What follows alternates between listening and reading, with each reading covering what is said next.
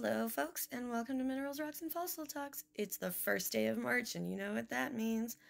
March Madness is beginning, and this year, the theme of March Madness are animals that are commonly mistaken for dinosaurs.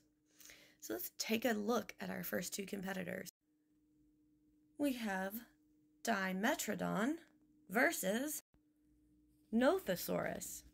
So let's just take a look at why neither of these are dinosaurs. Nothosaurus is a reptile in the superorder Sauropterygia, which means lizard flippers. Dinosaurs, on the other hand, are in a family, well, not a family, but they're in a group called Archosaurs. So, totally different group of reptiles. If we look at a Nothosaurus skeleton, they're built quite a bit differently than dinosaurs as well, especially if we look at their legs. They have a sprawling stance. Dinosaurs have an upright stance. And then their skulls are very, very different as well.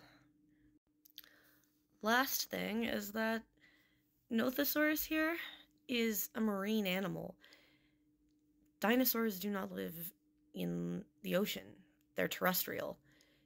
Yes, even Spinosaurus is technically terrestrial with aquatic tendencies. So dinosaurs don't have an entirely aquatic lifestyle. And then for Dimetrodon. So Dimetrodon is something called a synapsid. They have a single temporal fenestra in their skull, so this little hole right behind the eye. They're single temporal fenestra.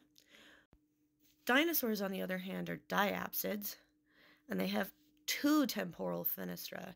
So one behind the eye on the side of the head, and one behind the eye on the top of the head. So different different builds of their skulls. We are synapsids as well. So Dimetrodon is actually more closely related to us than it is to dinosaurs. Dimetrodon also has the sprawling gait, which our dinosaurs do not. And if you look at this skeleton, the humerus and the femur are sitting horizontal or parallel to the ground, whereas dinosaurs are vertical. They've got that fem femoral head like we do that uh, sticks out and then drops the femur down.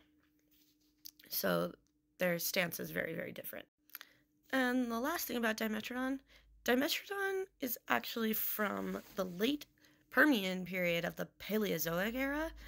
The first dinosaurs didn't appear for another 33 million years in the late Triassic of the Mesozoic era.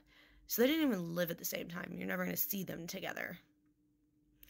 And now you know why these two aren't dinosaurs. Pick your favorite. This is not about who's bigger or stronger and can kill the other one.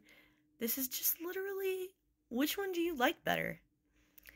Leave your answers in the comments and we'll see who moves on. Thanks and have a great day, everybody. Fossilize you later.